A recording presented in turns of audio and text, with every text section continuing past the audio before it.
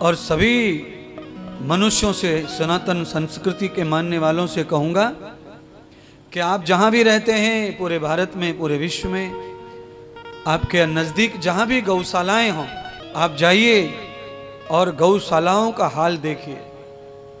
गौशाला चलाने वाले लोग ऐसी बीमारी जब आती है ना तो कम पड़ जाते हैं। उनका दोष नहीं है। एक साथ गाय आज चार बीमार हो गई, कल दस हो गई, परसों बीस। तो आदमी थक जाता है। गाय इतना वजनदार होती है, उठाना, बिठाना, लेटाना बड़ा मुश्किल पड़ता है। तो कैसे भी आदमी कम पड़ जाता है, साधन कम पड़ जाते हैं तो हमें मदद करनी चाहिए। राजस्थान में गाय मरी बुरी बात है, पर किसी ने मारी नहीं ना।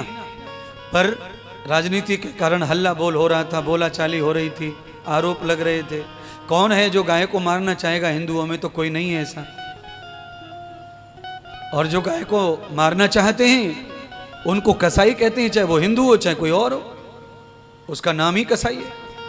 इसलिए एक बार हम सब सारे हिंदुस्तान, सारे विश्व से प्रार्थना करें कि सब गौ माता की रक्षा के लिए आगे आए। बंधुओं, कहीं कहीं बड़ी सुविधाएँ, जैसे हमारी गौशाला में सुविधा है, हम एक एक गाय पर चार चार लोग खड़े कर सकते हैं।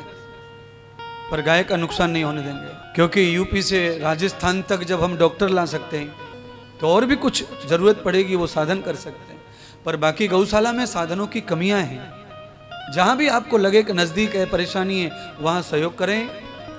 और आपत्ति काल में, दुख में, बीमारी में अगर हम गौ गौ के साथ हो जाएँगे तो मैं कहता हूँ, आप ज़िंदगी में बीमार नहीं पड़ेंगे, कभी आप अस्वस्थ नहीं होंगे। क्योंकि यहाँ ये कहावत सिद्ध होती है दूसरों का दुखड़ा दूर करने वाले तेरा दुख दूर करेंगे। सुख बोएँगे, सुख काटेंगे, दुख बोएँगे, दुख काटेंगे। किसी भी जीव को मरने के लिए नहीं छोड़ना। उसे बचाने का प्रयत्न करना। जन्म मरण अपने हाथ में नहीं है, पर उनको प्रसन्न रखना, उनकी सेवा और मदद करना ही अपने हाथ में है। वसंत गतिर मूल व्याप्तम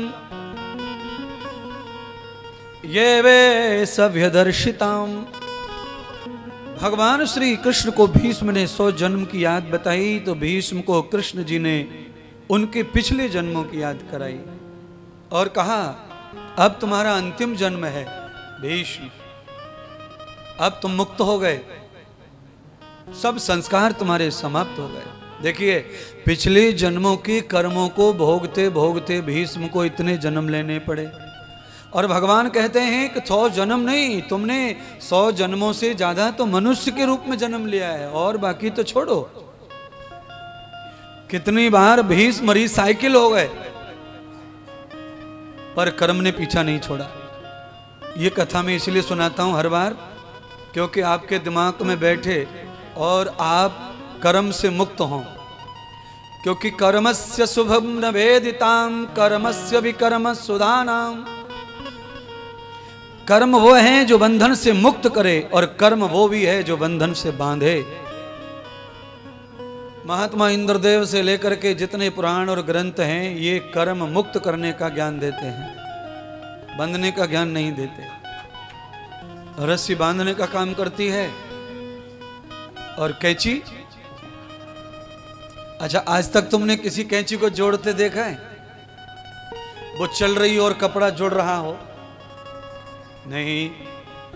कैंची नाम ही खत्म हो जाएगा। कैंची का मतलब है कतरनी और कैंची उसका नाम क्यों पड़ा है? क्योंकि आवाज़ करती है वो, कच कच कच कच कच। इसलिए कैंची बोलते हैं उसको। नाम उसका कतरनी है। आवाज़ करती है, इसलिए उसका नाम बदल गया। पर वो जोड़ने का काम नहीं करती है। काटने का काम करती है, अलग करने का। और सुई कैंची से छोटी होती है। और बहुत छोटी बहुत छोटी, इतनी छोटी कि एक कैंची छोटी से छोटी कैंची से कम से कम 100-200 सुई बन जाएँगे। इतनी छोटी। वो जोड़ती है, वो सिलती है। छोटे ही सही, पर हम सिलने का काम करें, काटने का काम तोड़ने का काम, अलग करने का काम नहीं करें। इसलिए कर्म हमारे ऐसे होने चाहिए बंधुओं जो हमें मुक्त कर दें। आज मैं सुबह थोड़ा जल्दी उठ जाता हूँ तो व्यायाम श्यायाम करके थोड़ा सा काढ़ा पी के आधा घंटा आराम करता हूँ, फिर स्नान करता हूँ।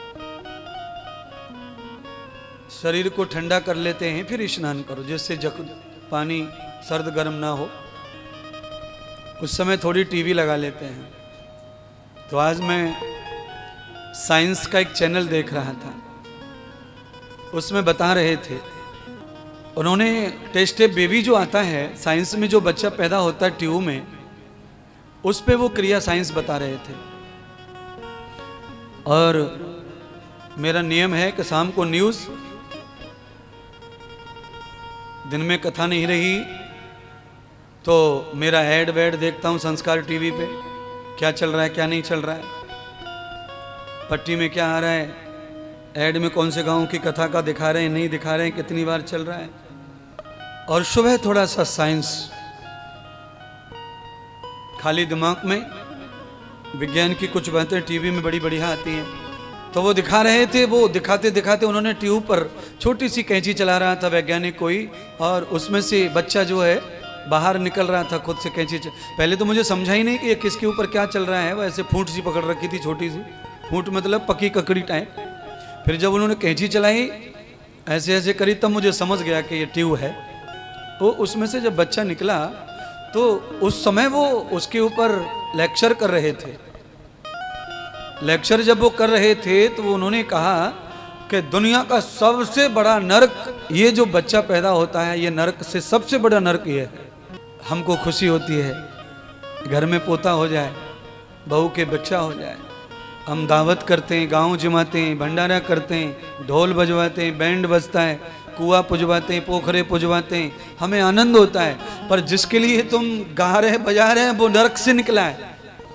पर वो नरक से बाहर आया है, इसकी खुशी घर वालों को और सबको होती है। उसकी ही बधाइयाँ होती हैं बधाई हो बधाई हो उस ट्यूब के अंदर जब बच्चा होता है तो उसके ऊपर वो कह रहे थे कि बच्चा जब उसमें होता है तो उसको इतनी पीड़ा होती है, इतनी पीड़ा होती है कि एक साथ एक आदमी के ऊपर एक लाख त्रिशूल गाड़ दिए जाए। अब बताओ, अरे चार पाँच ब्लेड मार दो, जिंदे आदमी चिल्लाता फिरता है। एक चाकू मार दो, रोता चीख चिल्लाता। और वो कह रहे थे कि करोड़ों बल्लम को सुरसुल घुसेड़ दे। इतनी पीड़ा जिस आदमी को होती है लाखों त्रिशूल के लग जाने से, उतनी पीड़ा माँ के गर्भ में हमको होती है। इतना दर्द, इतना पीड़ा, नौ महीने तक वो दंड हमें भोगना पड़ता है। इसलिए महात्मा इंद्रदेव कह रहे हैं कि जन्म मरण से कैसे भी छुटकारा मिलना चाहिए।